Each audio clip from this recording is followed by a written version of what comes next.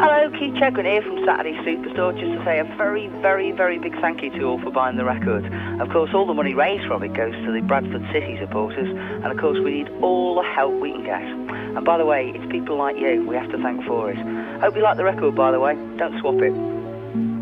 Hello, this is Bradford girl Kiki Dee saying to you, thank you for buying this record and thank you for your generous support.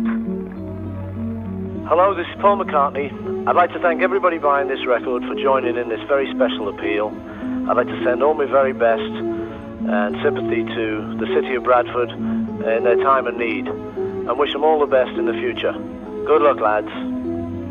Hello, this is Lemmy from Motorhead. I'm glad you bought the record. It's in a very good cause. It was very hot making it, so I hope you uh, sympathise in due fashion. And I'll pass you on to Gary Holton. Hello, this is Gary Holton here. Thanks for buying the record. We all had a giggle making it. And uh, I hope you put a few more bob into the old Bradford fund. Catch you later. Hi, this is Philip Lynott here, and uh, we'd like to thank you for buying the record. It's gone to a good cause. Hello there, this is uh, Tim Healy speaking. I'm very pleased that you bought the record. It's for a, a great cause, and let's hope uh, lots of people buy the record. Thanks a lot.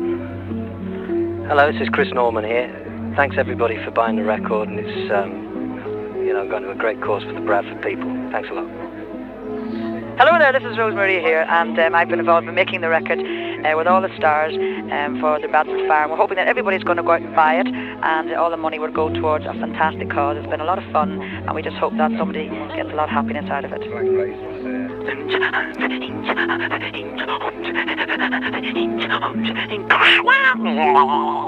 G'day, Rolf Harris here. I just thought I'd better give you some sound effects to let you know it's definitely me. Uh, I'll stop mucking about now. Just a very sincere thank you for buying this record.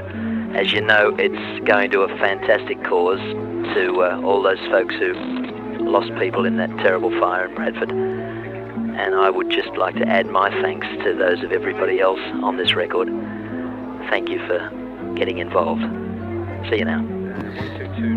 Hi, this is Anne Nolan, one of the Nolans. We'd like to thank you all for buying the record and don't forget what a great cause it's for.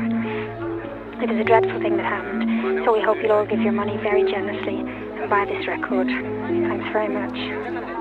Yes, John Conteh.